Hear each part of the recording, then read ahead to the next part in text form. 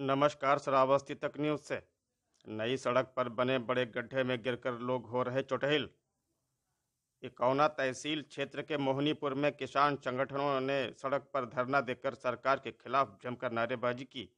इकौना के मोहनीपुर से पयागपुर जाने वाली सड़क पर काफ़ी दिनों से जानलेवा गड्ढा बना हुआ है। तमाम शिकायतों के बाद भी प्रशासन ने कोई मरम्मत कार्य नहीं करवाया और अनजान बना रहा। जिसको लेकर स्थानीय लोगों में आक्रोश देखा जा रहा था। लेकिन आज किसान यूनियन के कार्यकर्ता उसी गड्ढे के पास धरना देकर सड़क पर बैठ गए और सरकार के खिलाफ जमकर नारेबाजी करने लगे। किसान संगठनों का कहना है कि इस गड्ढे की वजह से आए दिन सड़क हादसे होते रहते हैं। कोई भी बड़ा वाहन इकौना से पयागपुर की तरफ़ नहीं निकल पाता है। उन्होंने उन्होंने कहा कि एक साल पहले इस सड़क का निर्माण कार्य कराया गया था। और नाली बनाई गई थी, जिसमें धांधली हुई है, जमकर बंदर बांट किया गया है। जो मटेरियल निर्माण कार्य में लगवाया गया था, वह नकली था। यही वजह है कि नई सड़क पर गड्ढा बन गया है। भ्रष्टाचार का प्रमाण सामने है। किसानों ने प्रशासन को चेतावनी दी है कि अगर इस गड्ढे को जल्द ही भरा नहीं गया तो यहीं पर बैठकर किसान संगठन अनिश्चितकालीन अनिश्चितकालीन धरना देने के लिए मजबूर होंगे। भैया ये दो तीन महीनों से टूटी पड़ी है। कई बार एसडीएम से शिकायत भी की गई लेकिन कोई कार्यवाही नहीं की गई। आज हम लोग धरने पे बैठ गए हैं। जब तक ये रोड सही नहीं किया जाएगा हम लोग धरना स्थल पर बैठे रहेंगे। कहाँ कहाँ को जाती है सड़क? ये पयागपुर मोहनीपुर तिराहे से पयागपुर तक जाती है। ये सड़क तो नहीं दिख रही है। इसके बारे में बताइए कैसे टूट गई? ये एक महीने एक, एक वर्ष पहले बनाई गई है उसके बाद ट्रक आया टूट गया जगह जगह टूटता चला मटेरियल गलत लगाया गया है हाथ से तोड़ दो तो सब उजड़ जाता है।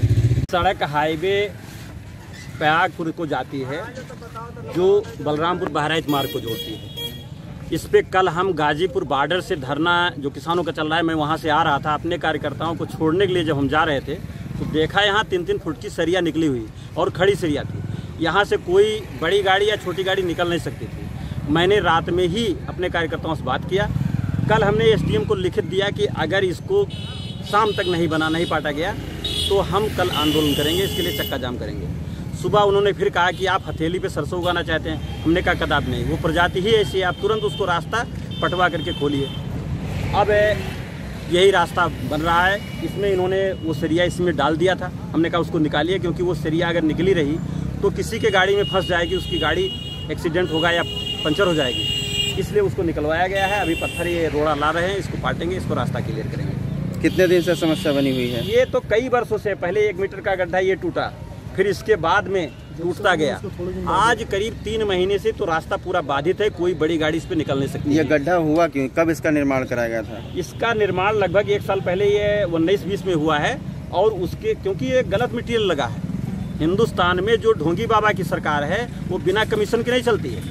इसलिए इस ए, की दशा ये हुई है आज कई जगह हाईवे टूटे हैं। और ये मेन रोड है हमारे ज़िले के डीएम और एसडीएम एसडीएम तो हमारे इतने ए, निर्लज हैं कि वो बार बार इससे निकलते हैं लेकिन उनके निगाह में नहीं आता है कि हमारे पब्लिक का रास्ता क्या है। तो किसान यूनियन यहाँ पर बैठ के धरना मैं भारतीय किसान यूनियन जिला महासचिव होने के नाते हमने इसको अपने संज्ञान में लिया और तुरंत कल ही हमने इसकी लिखा पढ़ी की।